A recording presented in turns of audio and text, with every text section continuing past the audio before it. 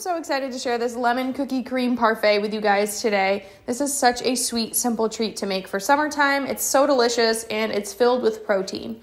What I did was I took a lemon flavored Greek yogurt, I added some light Cool Whip to it, some lemon flavored pudding mix, and some protein powder. Mixed everything together really well. Then I took a couple of lemon flavored Oreo thins, crushed them up, put them on top, followed by a little bit more Cool Whip. And you guys, this comes out to this creamy, smooth, delicious pudding like texture that is just so satisfying. I am going to leave all those details down below for you.